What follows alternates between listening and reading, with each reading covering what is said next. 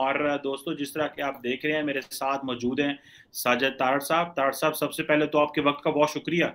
My pleasure thank you so much Tarar साहब आज मैं बात करना चाहता हूँ कि ये बड़ी अलार्मिंग सिचुएशन है कि भारत के डिफेंस मिनिस्टर राजनाथ सिंह साहब ने अमेरिकी secretary of state secretary of defence से बात की और ट्विटर पे उन्होंने ट्वीट भी की कि हमने कंसर्न शो किया है कि पाकिस्तान को जो एफ़ सिक्सटीन की सर्विसेज़ प्रोवाइड की गई हैं या उनको ओवरऑल करने के लिए जो साढ़े चार सौ मिलियन की पाकिस्तान की और अमेरिका की डील हुई है, उस पर हमने उनसे पूछा कि ये आपने क्यों की है, एक बात।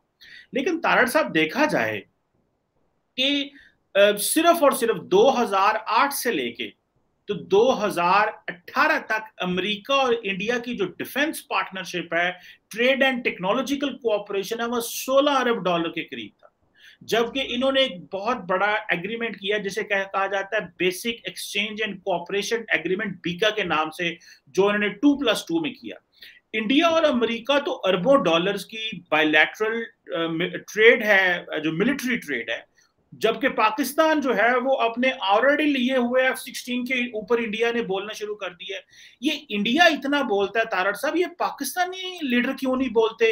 जब इंडिया को इतने लंबे चौड़े वेपन्स मिल रहे होते हैं, इसकी क्या वजह है? और जरा हमें ये थोड़ा सा बैकग्राउंड भी बताएँ और थोड़ा सा हमें गाइड करें सर चीमा साहब, ये रिसेंटली देखें एफ़ सिक्सटीन का मामला जो दोबारा आया है, मैं ये आपको ये अर्ज़ करना चाहूँगा कि इस वक्त अमेरिका के अंदर इसके बारे में क्या सोचे एक तो ये है कि आपने पूछा है कि पाकिस्तानी लीडरशिप क्यों नहीं बोलती? पाकिस्तानी लीडरशिप अपने जलसों से और अमल बिन मारूफ से कुछ उनकी जान छूटे तोशा खाना से आगे बढ़े और गोगी से अपना आगे चले तो फिर ये चीज़ें आती है ना। फॉरन पॉलिसी तो उनके रेडार पर ही नहीं है, बल्कि अफसोस तरीन एक इंसानियत का अलमिया है सैलाब, लेकिन वो हर शहर के अंदर कॉन्सर्ट कर रहे हैं। ये तो एक एफ़ सिक्सटीन या फॉरेन पॉलिसी तो इस देयर पे ग्रेड अब मैं उसमें ये बताना चाहूँगा कि इस वक्त वेस्ट क्या सोच रहा है। सबसे पहले तो जो मैं, ये जो अमेरिका ने एफ़ सिक्सटीन के हवाले से जो चीज़ दी है, उस पर जो भारत के तहफात थे, मैं समझता हूँ कि जरा नोट कीजिए और बिलखसूस एक टाइम आपने जेन में रखना है कि भारत अब भी अपना सबसे ज़्यादा असला रशिया से ले रहा है। लेकिन अमेरिका को उन्होंने इस तरीके से मैसमराइज कर रखा है कि उन्हें एतराज़ था कि उन्हें पेशगी नोटिस क्यों नहीं दिया गया इस कॉन्ट्रैक्ट करने से पहले। एक तो ये बात है। कि वो चाहते थे कि अमेरिका उनसे पूछ के देता। दूसरा उसके बारे में जो मैं बात बिलखसूस जो बताना चाहूँगा कि आजकल डोनाल्ड लू जो है, वो भारत के दौरे में है, क्वाड के सीनियर अफसरान के साथ। ये वही डोनाल्ड लू है जिसको खान साहब ने एक मुतनाजिया शख्सियत बना दिया है। अब उसमें तीसरी बात मैं बताना चाहूँगा कि वो वो एफ़ सिक्सटीन का जो दे रहे हैं चीज़ें उसमें अमेरिका ने भारत को बताया है कि हम कोई भी नई चीज़ ऐसी नहीं दे रहे जो आपके लिए खतरनाक हो। हम सिर्फ़ सिस्टम को अपग्रेड करेंगे, लेकिन विल विल मेक श्योर कि वहाँ खिते में पाकिस्तान के पास ऐसी चीज़ ना चली जाए जो अमेरिका, जो भारत के खिलाफ ऑफेंसिव एज ए यूज़ की जा सके। ये क्लैरिफिकेशन दी है अमेरिका ने। तो उसमें आकर मेरा मकसद है कि अब मैं बताना चाहूँगा, किया क्यों गया है? अमेरिका ने सिर्फ़ और सिर्फ़ भारत को एक सबक सिखाने के लिए कि आप रशिया से तेल ले रहे हो, आप यूक्रेन के मामले पर हमें सपोर्ट नहीं किया आपने आपने रशिया की साइड ली है, उससे तेल ले रहे हो, उससे असला लेते हो, अगर आप इस तरह करोगे तो फिर हम पाकिस्तान के साथ भी अगर ये मामला ना होता, अफ़गानिस्तान से अमेरिका वापस आ चुका है, आपको वो they don't care about they don't I am sorry to say this is not a good word but they don't give a damn अब उसमें ये बताना चाहता हूँ कि मैं, मैंने बल्कि ना सिर्फ़ एफ़ सिक्सटीन के बारे में देखा है। अमेरिका के यहाँ जो हमारा मीडिया है, वो ज़ाहिर है क्योंकि अमेरिका के अंदर भारत की लाभी बहुत स्ट्रांग है। और मीडिया बार बार उस भारत की लाबी को क्लैरिफिकेशन देता नज़र आ रहा है। तो उन्होंने कई कई चीज़ें क्लैरिफाई करके उन्होंने मीडिया ने लिखी है कि एफ़ सिक्सटीन जो है वो तो आपके लिए खतरा है ही नहीं आप क्यों इतना चीख रहे हैं भाई? एफ़ सिक्सटीन जो है वो 3.5 जनरेशन है आपने राफेल ले लिए हैं वो 5.4 जनरेशन है। बल्कि आपकी जो महराज 2000 है और वो सुकुकी 30 वो भी एफ़ सिक्सटीन का मुकाबला कर सकता है। Why you are about it? Why you are worried about it? Why you are creating a, a huge issue out of it? और उसमें मेरा मकसद इस वक्त अमेरिका के अंदर भी जो वॉशिंगटन डीसी में ये चीज़ें डिस्कस की थी, की जा रही थी, बड़ी डिटेल के साथ एफ़ सिक्सटीन के बारे में। और इस वक्त अमेरिका अपनी क्लैरिफिकेशन देता फिर रहा है, लेकिन दर हकीकत जिस तरह मैंने आपको अर्ज़ किया है कि उसके पीछे सबसे बड़ा इशू ये था कि America wanted to teach them a lesson to wanted to shake up little हालाँकि वो इस पोजीशन में नहीं है, लेकिन फिर भी उन्होंने शेकअप किया है, क्योंकि अमेरिका ने इंटेलेक्ट जो है वो आउटसोर्स कर दिया है भारत को। इस वक्त हर बड़ी कॉरपोरेशन का जो सीईओ है वो इंडियन है और इस वक्त आपके किसी आईवी लीग स्कूल में किसी आप research and R and D के डिपार्टमेंट में देखें तो वहाँ आपको व्हाइट अमेरिकन नज़र नहीं आएँगे वहाँ पे चाइनीज़ और भारतीय बच्चे नज़र आएँगे आपको। America has given up on intellect आज आपको पता है बड़े अरसे से अपने सेटल आप, अपना राकेट ऊपर भेजने की कोशिश कर रहे थे और उसमें भी नाकाम है और अब बाहर से मदद ली जा रही है बिकॉज़ और यही चीज़ डोनाल्ड ट्रंप साहब ने अपने पीरियड में आइडेंटिफाई की थी कि America is losing their touch of innovation math में पीछे रह रहा है अमेरिका अमेरिकन बच्चे मैथ में पीछे रह रहे हैं। तो द फ्यूचर इज़ फ्यूचर के अंदर अगर अमेरिकन ने अपने आप को अगले पाँच या दस साल में रीअसेस ना किया और उसके बारे में कुछ ना किया तो जो पावर शिफ्ट है, क्योंकि अमेरिका की अभी तक दुनिया में जो धाक है, उनकी इनोवेशन है, उनकी रिसर्च है ह्यूमन बिहेवियर पर रिसर्च है अगर इन चीज़ों पे इन्होंने तोजो ना दी तो America will be history it will be struggling like Europe जिस तरह आज यूरोप बीमार है, जिस तरह आज बिल्कुल इसी तरह अमेरिका विल फॉलो दैम और फिर ये सोशल जिस तरह मैंने आपको अर्ज़ करता रहता हूँ कि इस वक्त अमीर लोगों के बच्चे यहाँ पे भी डेमोक्रेटिक सोशलिज्म चाहते हैं, जिस तरह स्कैंडिनेवियन कंट्रीज़ में है this is what they are hoping for लेकिन ये कि इनको ये नहीं पता, जिस तरह मार्गरेट थेचर ने कहा था कि सोशलिज्म ओनली लुक गुड जब तक किसी के पैसे, किसी दूसरे के पैसे खत्म ना हो जाए। तो socialism work even the nature is not working toward socialism equality एक यूनिफॉर्म कभी सबको पूरा नहीं आ सकता। दुनिया में हर लोग जो है, वो comparative market place is the only solution आपकी सक्सेस चीज़ें, आपके इंटेलेक्ट बेस आपकी मेहनत बेस पे होनी चाहिए। जिस तरह मैं एक छोटा सा लास्ट आर्गूमेंट दूँगा ईलान मस्क अगले दिन उन्होंने कहा था कि मेरे चाइनीज़ चाइना के अंदर जो मेरे प्लांट हैं वो ट्वेंटी फोर सेवन चल रहे हैं और मेरे वर्कर कई ऐसे हैं जो उस फैक्ट्रियों के अंदर ही सोते हैं।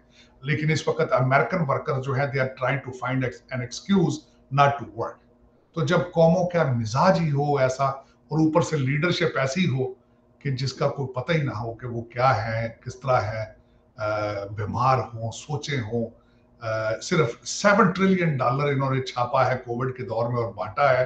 जिसमें से तीन बिलियन तीन ट्रिलियन डॉलर के फ्रॉड हुए अमेरिका में कोविड के दौर में मुख्तलिफ़ किस्म के फाइनेंशियल जो इन्होंने पैकेजेस दिए थे बिजनेसेस को थ्री ट्रिलियन डॉलर के फ्रॉड हुए। आप इमेजिन करें क्या हालात बिल्कुल ठीक है। अच्छा तार साहब, इसमें देखिए, ये पता लगता है कि भारत के अंदर जो सेंटर ऑफ़ पावर है, वो अगर डिफेंस मिनिस्टर जो है, वो बात कर रहे हैं। और वो पाकिस्तान को ललकार रहा है कि भाई हम तुम्हें नई वेपन्स लेने देंगे। और तुमने क्यों लिया? क्यों अमेरिका को कह रहे हैं और पब्लिक स्टेटमेंट दे रहे हैं? एक होता है कि अंदर खाते आप बंद कमरे में बात करें।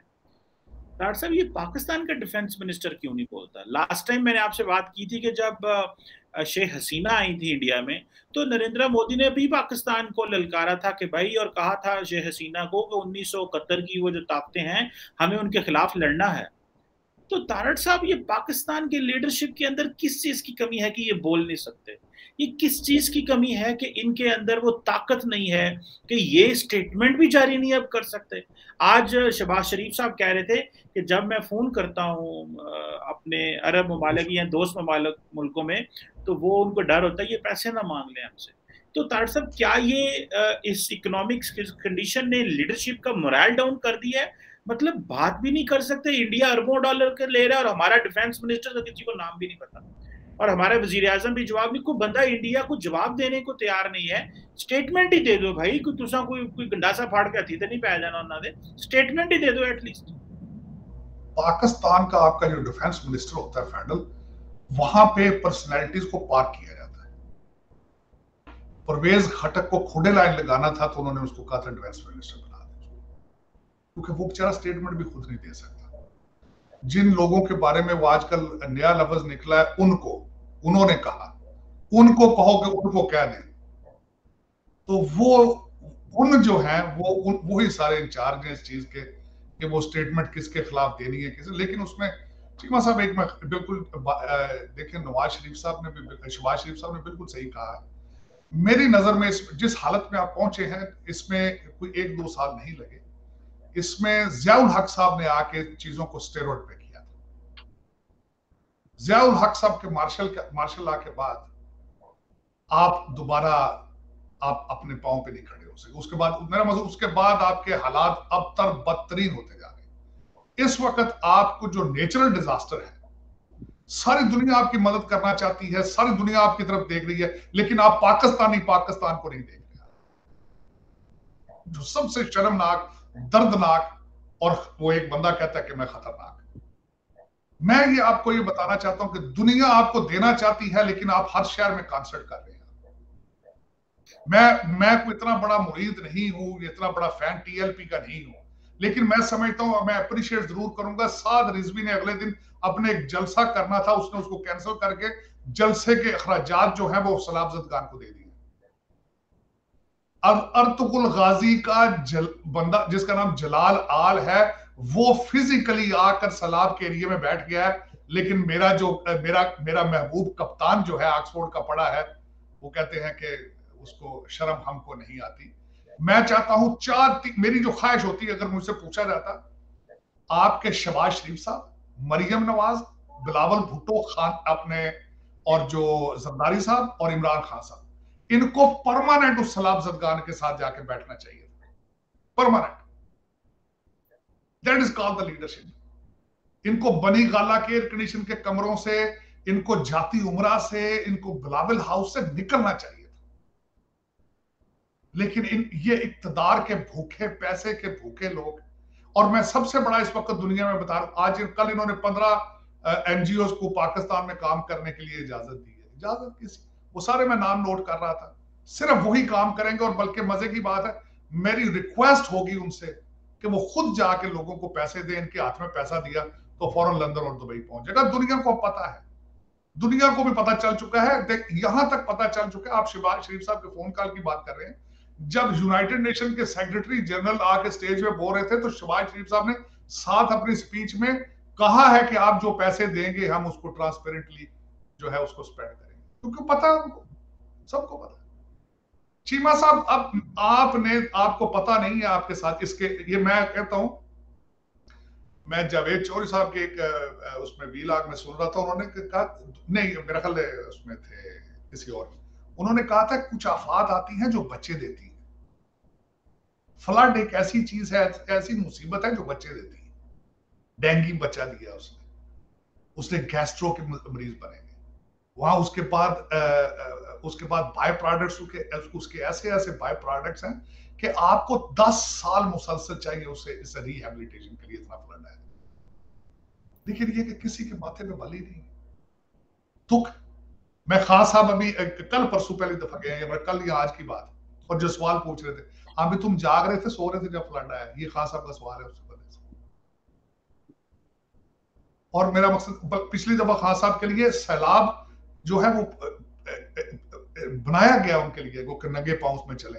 वो कहते हैं किसी स्टेडियम के अंदर पानी छोड़ा गया था, खान साहब उसमें आके इनकी मूवी बन सके, ये सलाब से गुजर तो दर हकीकत ये मुझे, मैं पहले, मैं हमेशा कहता रहा हूँ कि मायूसी गुनाह है, लेकिन मैं जो हरकत देख रहा हूँ आपकी लीडरशिप की, देखिए जब भी मैं मैं पहले मिसाल लेता था चीमा साहब अमेरिका के अंदर नाइन वन वन हुआ और मैंने कौमों को देखा है। कि जब भी वहाँ पे ऐसी को आफात आती, इकट्ठे हो जाते हैं। डेमोक्रेट रिपब्लिकन सारे भूल गए थे अपनी पार्टियों को इकट्ठे हो गए थे। नाइन वन वन हुआ था। आप देखें, आप इकट्ठे हो रहे हैं। आपके, आपकी हरकतों में स्पीडें आ रही आप और तेज होते जा रहे हैं। लेकिन हवस, इकतदार, पैसा लुटमार कई पंजाब की हुकूमत के लिए किस तरह गिरानी है? अभी उधर से एम पी खरीद रहे हैं, इधर से बेच रहे हैं। वो और पिछले को एक एक, जो सेकंड इन कमांड वो कहता है, पंजाब की हुकूमत इनके गिराने से पहले हम फेडरल हुकूमत गिरा देंगे। देखिए दोस्तों कभी किसी ने कहा है कि मैं सलाब के लिए क्या कर रहा हूँ?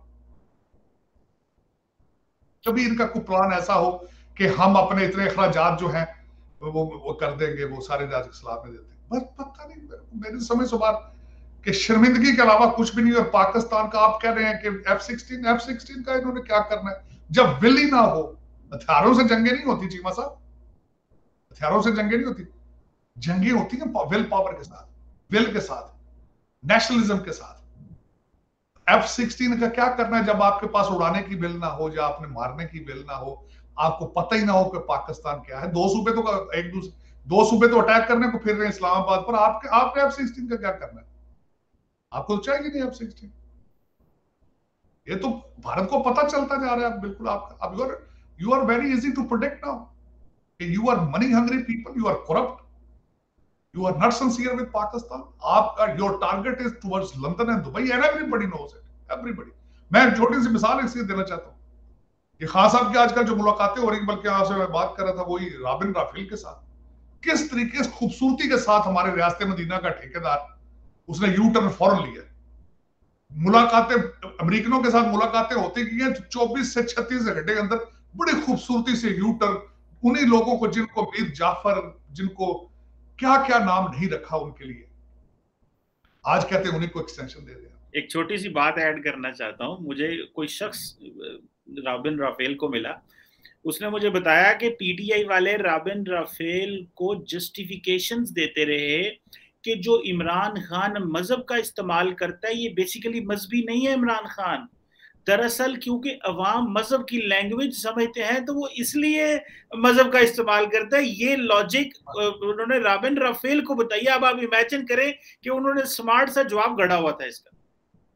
चीमा साहब, सबसे बड़ी बात यह है कि राबन राफेल का बैकग्राउंड में दो चार चीज़ें जो मेरी इंफॉर्मेशन के मुताबिक, एक तो वो बिल क्लिंटन दौर में बिल क्लिंटन के करीब थी वो।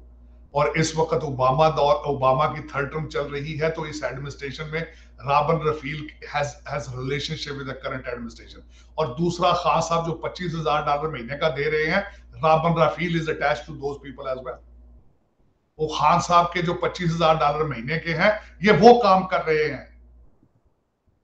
ये खास साहब मैं बेश के देखें, ये किस तरह के लोग हैं, इन्हें बिल्कुल पता है कि अपनी पर्सनैलिटी अपने इकतदार के लिए क्या कुछ करना है। काश ये पाकिस्तान के लिए भी कुछ करते जब ये पावर में थे। देखें, एक खान साहब की इनके ऊपर जो दहशत गर्दी का केस हुआ है यूनाइटेड नेशन के सेक्रेटरी जनरल को परेशानी बन गई है, क्योंकि पच्चीस हज़ार डॉलर वहाँ भी पहुँच रहे हैं। उन्होंने, उनको सैलाब नज़र नहीं आ रहा था, अपना जहाज़ डूबता नज़र आ रहा था। तो खान साहब, आपने बड़ी खूबसूरती, मैं मन गया इस गल का मैंने खान साहब का नाम रख दिया है, मुफ्ती मैकिया वली न्याजी। क्योंकि अब तो फतवे भी दे रहे हैं ना। इन्होंने चिश्तिया के अंदर तो फतवा भी दे दिया। इन्होंने कहा, जो जो हमें वोट नहीं देगा, वो गैर इस्लामी है। आपको इधर इस्लामी। फतवा जारी कर दिया खास मुफ्ती मैकिया वाली न्याजी है, सरकार ये, मैं इनका बहुत बड़ा मानने वाला हूँ। जिस खूबसूरती के साथ ये 25 करोड़ लोगों को बेवकूफ़ बनाया है, मैं समझता हूँ कि मैं मैं रिसर्च करूँगा खान साहब से मैं मान गया हूँ मैं कि खान साहब ने किस खूब और दूसरा मैं बहुत बड़ा मुरीद हो गया हूँ पच्चीस करोड़ लोगों का जो आँखों से अंधे और कानों से बह रहे हैं।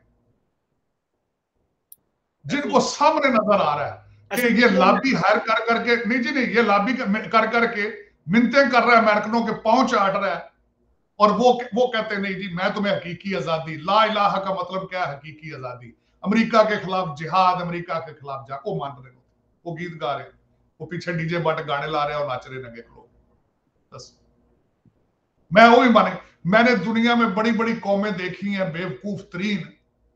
ये जिस तरीके से इन्होंने 25 करोड़ लोगों को ठोकर लगाई है ना मैं माने गया माने गया। और इक्कीस सदी ट्वेंटी फ़र्स्ट सेंचुरी में। सुबह कुछ कहते हैं शाम को कुछ कहते हैं वो कहते हैं न्याजी तो पैगंबर है ना जी। नौज बिल्ला। तो लेकिन लेकिन खास चीमा साहब वो कहते हैं ना कि अब आए तो भी, आए भी खतरनाक और ना भी आए खतरनाक your future has been calculated determent and predicted direction Afghanistan direction Kabul बिल्कुल सही कह रहे हैं तार साहब। मैं आज भी एक थिंक टैंक में की बात कर रहा था, यूरोप में। तो वहाँ पे जो पाकिस्तान में, जो जो वहाँ पे एक प्रोफेसर साहब ने मेरे साथ बात की तो मुझे ऐसे लगा, यार, ये ये लोग हमारे बारे ये सोच रहे हैं कि हम चाइना रशिया इनके अंडर इन्फ्लुएंस है। हम इन ममालिक के अंडर इन्फ्लुएंस हैं और वो कह रहे थे कि जब तक आप इंडिया से दोस्ती नहीं करेंगे आपकी जो पोजीशन है वेस्ट में ठीक नहीं होगी। आपको इंडिया से दोस्ती करनी पड़ेगी वेस्ट को दोस्त बनाने के लिए। ये पर्सपेक्टिव हैं। मैं आपको ये बड़े खौफनाक किस्म के पर्सपेक्टिव हैं। वो कह रहे हैं इंडिया से दोस्ती करें। इट मीन्स के इंडिया के सर साहब सॉरी अब बात काटने लगा इट मीन्स के इंडिया के अंडर आके साउथ एशिया में काम करें। बिल्कुल और मेरा अच्छा दूसरी एक बात, आपकी पोजीशन ऐसी ही है। आपकी पोजीशन मैं समझता हूँ कि आप खुद कोई चीज़ नहीं बनाने की सलाहियत ना रखते हो तो किसी को कॉपी कर लेना चाहिए। इनको सोचना चाहिए कि भारत जो है, दस साल में, ग्यारहवें नंबर से पाँचवें नंबर पर किस तरह आया है। इनको सोचना चाहिए, बांग्लादेश किस तरह तरक्की कर रहा है। खुद तो कुछ नहीं कर सकते तो देखे, आज तक खान साहब ने कभी कहा है कि यहाँ हम काटन की फैक्ट्रियाँ लगाते हैं जिस तरह कपड़ों की फैक्ट्रियाँ लगाते हैं जिस तरह बांग्लादेश ने किया। खान साहब ने एक नए ट्रक की बत्ती दिखाई कहते मैं पाँच लाख ओवरसीज पाकिस्तानी, उनको कहूँगा, यार पैसे लगाए। किस चीज़ में? पकौड़े कट्टे उनको दोगे, कट्टे पाले? किस चीज़ की? ओवरसीज क्या करेंगे? बताए भी तो सही ना और पिछले चार साल आपने क्यों नहीं ओवरसीज पाकिस्तानी को लेकर आए, जब आप पावर में थे? उस वक्त वो ओवरसीज पाकिस्तानी कहाँ थे? लेकिन ये कि बस, लेकिन चीमा साहब, उनका कसूर नहीं है। पच्चीस करोड़ बंदे जो हैं, जो आँखों से अंधे और बहरे हो चुके कसूर उनका है चीमा साहब। आप किस तरह कह सकते हैं? खासा को तो इकतदार चाहिए ना, वो तो मनी हंगरी है पावर हंगरी है वो। कसूर तो उनका जो उनको उठा के कंधों में फिर रहे हैं। उनसे पूछते नहीं कि साढ़े तीन साल, चार साल आपने क्या किया? तो फ़र्ज़ बनता है ना पूछे उनसे। उनसे पूछे सुबह से रात के अंदर क्या परफॉर्म किया उन्होंने? उनसे पूछे कि इस वक्त पंजाब में क्या परफॉर्म कर रहे हैं? परवेज लाई साहब कितनी दफ़ा फ्लड एरिया में गए हैं? लेकिन ये कि ये फिर ज़िंदा कौमों की निशानियाँ होती हैं जो सवाल करें। लेकिन जो 21वीं सदी पर भी तीन चीज़ों पे सुई अड़ गई है वो एक कहता है, जी, मैं रियासत मदीना कहता बनाना है। दूसरा वो कहता है, जी, मैं जिहाद कराने आ रहा हूँ। तीसरा कहता है, मैं तबलीग कराना चौथा कहता है, ये पैगंबर देखो, खुदा का नाम लो यार। कुछ है यार करो, इस्लाम के इतने दुश्मन बन गए आप। ट्रू और तार साहब, ये जारी बात है, एक बड़ी खौफनाक किस्म की ये एक सिचुएशन है। एक मैं आपसे तार साहब ज़रूर इस सिचुएशन के, एक एक मैं लेना चाह रहा हूँ। इमरान खान अमेरिका को गालियाँ निकालते थे, अभी भी यूरोप सबको निकालते हैं। फ्लड की सिचुएशन मैं आपको बताता चलूँ। आज पाकिस्तान के फॉरेन ऑफ़िस ने एक एक इंफोग्राफिक इंफॉर्मेशन जारी की, जिसमें यह बताया गया कि चीन से अभी तक सिर्फ़ चार फ्लाइट्स आई हैं फ्लड्स विक्टिम के लिए। अमेरिका से ग्यारह आई हैं। अमेरिका से ग्यारह, चीन से चार। और तारड़ साहब, हमारा जो सबसे बड़ा ब्रदर इस्लामिक मुल्क सऊदी अरब से एक फ़्लाइट आई है। दुनिया ने तो उन्होंने वो फ्लड है वो बंदा मुँह नहीं लान दिया इसकी वजह साहब आप इससे बड़ी एक और बात बताना चाहूँगा। आपका नीलम वैली नीलम रिवर के ऊपर वो चाइनीज़ डैम बना रहे थे। वो दरमियान में छोड़ के वापस चले गए। अच्छा। उन्होंने कहा हमारी ज़िंदगी भी खतरनाक है और यहाँ फ्लड के हालात ये हैं वी आर नॉट वर्किंग वो नीलम डैम के अंदर आधा प्रोजेक्ट बना के छोड़ के चाइनीज़ वापस चले गए। अब मैं दूसरी आपको बात बताना चाहता हूँ फ़्लाइट फ़्लाइट रिलेटेड आपके वहाँ पे एक जर्नलिस्ट है, उन्होंने एक ऐसा आर्टिकल लिखा है कि जिसने आँखें खोल के रख दी है खुशनूद अली। उन्होंने अगले दिन आर्टिकल लिखा है जो उन्होंने उसमें चीज़ें मेंशन की हैं, वो भी जरा मैं समझता हूँ आपके देखने वालों को सुननी चाहिए। एक तो उन्होंने कहा है कि जो बाजवा साहब हैं, इसके बाद एक डैम बनाने की ऑर्गेनाइजेशन है, अपनी रिटायरमेंट के बाद उसको हेड करेंगे। दूसरा फ्लाइटों के हवाले से उन्होंने कहा कि अमेरिका से फ्लाइटें आएँगी अभी मजीद सामान लेकर। तो शमसी एयरबेस जो उनके पास थी पास थी, ये उनको देने, दोबारा उनको देने के बारे में सोचा जा रहा है। ये दूसरा इंकशाफ उन्होंने किया। तीसरा इंकशाफ उन्होंने किया है कि आर्मी चीफ के लिए नाम उन्होंने नदीम अंजम का डिसीज़न हो चुका है। एक और उन्होंने बात डिस्क्लोज किया कि जो दो नाम है आर्मी चीफ के, वो भी, जो चीफ ऑफ़ आर्मी स्टाफ के हैं, वो भी सामने आ चुके फिर उन्होंने बात ये भी उस आर्टिकल में लिखी है कि पीटीआई के मुतबादल एक पार्टी बनाई जा रही है जिसको जहांगीर तरीन और शाह मुल्तान वाले उसको लीड करेंगे। और ऐसी चीज़ें उन्होंने कई लिखी हैं, लेकिन उन्होंने जो ये बात की है ना कि फ्लाइटों की वजह से जो फ्लाइटें अमेरिका से जाएँगी, वो शमसी एयरबेस पे भी बात हो रही है उनकी। और उस पर आप देख लें, फिर दोबारा आप पाकिस्तान की डायरेक्शन के साइड और इस वक्त आपकी देखा जिस तरीके से खान साहब की मुलाकातें हो रही हैं और खान साहब के बारे में किमें छोड़ा जा रहा है कि America has approved America has agreed के और दूसरा आ, आ, मैं समझता हूँ कि जो हमारे फवाद चौधरी साहब ने अगले दिन आर्टिकल दिया है कि अमेरिका हैज़ रियलाइज़ कि he is the most popular leader in Pakistan और वो बहुत जल्दी दूसरों की सपोर्ट छोड़ देंगे। दिस वाज हिज इंटरव्यू तो इट मींस के where the Pakistan is heading in that region और दूसरा ये ना कि चीमा साहब मैंने इस तरह का इंतशार आज तक नहीं देखा। मैंने आज तक पाकिस्तान के सूबे आईएमएफ दूसरे ममालक के साथ रिलेशनशिप बनाते नहीं देखे। मैंने आज तक कोई ऐसा सबक वज़ीर आज़म नहीं देखा जो इस एक्सटेंट तक जाकर मेरा मकसद है कि वो कहे कि मैं नहीं तो तीन टुकड़े शबाज शरीफ ना होता तो इससे अच्छा एटम बम मार देते। इस तरह के अल्फाज मैंने सिविलाइज मुल्कों में नहीं देखा कि वो जो सबक वज़ीर आज़म या सदूर इस बुरे तरीके से अपने मुल्क के खिलाफ बातें करें? ये जो वैसे आपने शाह महमूद कुरैशी साहब की बात की ये मुझे किसी ने अगले दिन बताया था, सर, कि शाह महमूद कुरैशी को इमरान खान ने लास्ट वार्निंग दी है, उसने कहा, तुम ये जो दोनों तरफ़ खेल रहे हो ना, ये बंद करो। ये तुम उधर भी जाते हो, तुमने हमारे साथ भी रबते रखे हुए हैं और उधर भी तुम खेलते रहते हो, पर है तो ये स्टैब्लिशमेंट के बंदे ना शाह साहब। तो उनको ये है कि ये, जो है वो वो वो अपने लोगों को कह रहे हैं लाइन ड्रॉ करें। दरअसल आखिरी कमेंट एक लेना आपसे। पीटीआई ये कह रही है कि खैबर पख्तूनख्वा में टीटीपी दोबारा आ रही है। और वो जो मुराद सईद साहब है, इमरान खान के फेवरेट मिनिस्टर जो है, उन्होंने एक वीडियो डाली है, उन्होंने कहा, जनाब, कि टीटीपी जो है वो हमारे इलाकों में आ रही है, हमें, हमारा अमन खराब हो रहा है, हमें वो थ्रेट कर रहे हैं तो हमारे रियाती इदारे क्या कर रहे हैं? तो आप क्या समझते हैं खैबर पख्तून ये टीटीपी का दोबारा आना, इमरान खान तो कहते हैं, ये मेरे खिलाफ साजिश है। बिल्कुल स्वाद एरिया में जब आई थी तो इन्होंने बिल्कुल उसको कहा था कि हमारे लिए लाई जा रही है, हमें काउंटर करने के लिए लाई जा रही है। गलत स्टेटमेंट थी उनकी। बल्कि मुझे अभी तक याद है कि टीटीपी के आने की वजह से स्वाद के अंदर टूरिज़्म खत्म हो रहा था। और बल्कि वहाँ पे आपके आपके रेंजर्स जो थे, दोबारा उन्होंने चेक पोस्टें बना ली थी स्वाद के अंदर। और थ्रेट तो थी, मौजूद थी। और अफसोस होता है हमारे जैसे लोगों को सुनकर कि किस तरीके से इनको पहले इसको साफ़ किया गया था, सुख का सांस लोगों ने लिया था। टूरिज़्म बढ़ रही थी और अब फिर हमने रिवर्स गियर पे लग चुके हैं। और अल्लाह ताला ना करे कि पाकिस्तान में फिर उस तरह के हालात पहुँचे। जो हालात आपने देखे थे दहशत गर्दी के दिनों में क्या था, लेकिन मैं अब मैं क्या क्या बताऊँ कि कहाँ से शुरू किया जाए, कहाँ से खत्म किया जाए? तो उसमें मुझे ये बताएँ कि आप जब इस मुराद सईद साहब के लिए मेरी ये रिक्वेस्ट होगी कि आपके वज़ीर अला कहते हैं कि हम अपने इस्लामाबाद की तरफ़ मुँह करेंगे तो वो स्वाद की तरफ़ क्यों नहीं मुँह कर लेते? जाके डिफेंड करें वो। बल्कि मुझे तो चीमा साहब बड़ा अफसोस हुआ था जब टीटीपी ने हमारे एक डीएसपी और एक पाकिस्तानी मेजर को बना के जो वीडियो फेंकी थी मेरे दिल खून क्या आँसू रोया देख के ये हालत है हमारी लॉ एनफोर्समेंट की। ये ये ये हालात है कि मेजर को उन्होंने पकड़ा हुआ था हाथ बांधे हुए थे पीछे और डीएसपी को गोली मारी हुई थी टांग पे उन्होंने। डीटीपी स्वात एरिया में हालात सोचा जाए तो इंतहाई देखें मैं मुझे मेरी समझ से बाहर है अदारे किधर हैं और अदारों का क्या प्रोग्राम है आगे। या पाकिस्तान को इस वक्त चला कौन रहा है? शॉट्स कौन कर, कर, कर, रहा है इस वक्त? अभी तो या फिर मतलब किस हमारी डेस्टिनेशन क्या है? Dollar out of control again आपको पता ही डॉलर के हालात जो ढाई सौ के पास फिर पहुँचता फिर रहा है। और दूसरा ये कि मैं अब क्या बताऊँ आपको कि कहाँ से शुरू करें कहाँ खत्म करें?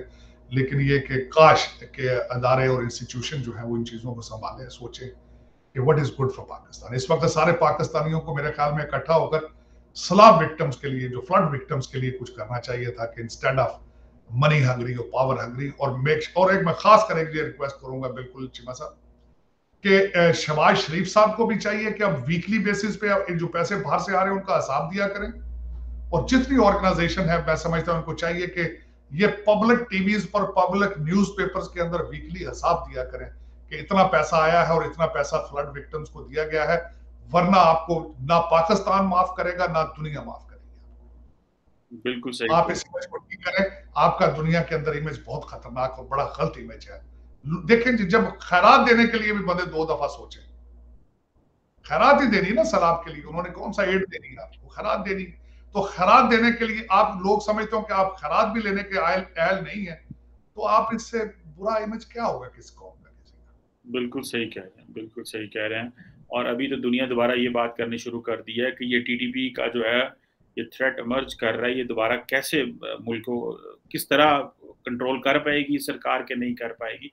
बड़े मुश्किल मैं सब आखिरी बात इस पे ऐड करूँगा। टीटीपी वालों को और तालिबान वालों को तालिबान को एतराजात थे। कि इमरान खान साहब अपने जलसों में उनके उस्तादों के नाम बिगाड़ बिगाड़ कर उनकी बेइज्जती करते हैं। ये भी उनको एतराज़ था। अच्छा। हाँ ये डिसरिस्पेक्ट करते हैं। बिलखसूस ये जब नाम डीजल लेते थे तो उनको एतराज़ था कि ये बार बार, क्योंकि मौलाना फजलुर रहमान ने कुछ उलमा को, जो टीचर थे तालिबान के, उनको जब अफ़गानिस्तान भेजा था तो उन्हें ये इतराज था कि आप हमें कहते हो कि इनके साथ बात करें, इनके साथ बैठे, लेकिन आपका वो बंदा हर जलसे में डीजल डीजल किनारे लगाता तो बात फिर इस तरह ये चीज़ें इस तरह ही होती जब आप एक सत्तर साल का आदमी जो है, हर बात को कहे कि कुकड़ी है, ये मरियम नवाज़ ये है, इसका हस्बैंड ये है ये बस फिर इस तरह ही होता है फिर आपको पता ही है क्या अखलाकियात के क्या हालात है। अगले दिन जो वीडियो चलाई इन्होंने शहबाज गिल की तो जितनी खातन बैठी हुई थी जो शहबाज गिल ने किया मेरा भी इस तरह मैं समझता हूँ पता नहीं लोग किस तरह अपनी बेटियों को बच्चियों को भेज देते हैं इस तरह के जलसों में। डीजे के बट की हद तक तो ठीक थी लेकिन अल्फाज शहबाज गिल ने जो कहा कि मुझे शार्ट का मुझे कहाँ करंट लगाते गए तो फिर वो वीडियो चलाई उन्होंने कई लोग कहते थे कि म्यूज़िक से हटके अब टोटो पे जा रही है बात तो यही हालात बिल्कुल सही कह रहे हैं, बड़े अजीब सी सिचुएशन है। Thank you very much sir sir for your time and for your valuable points बड़ी मेहरबानी पाकिस्तान जिंदाबाद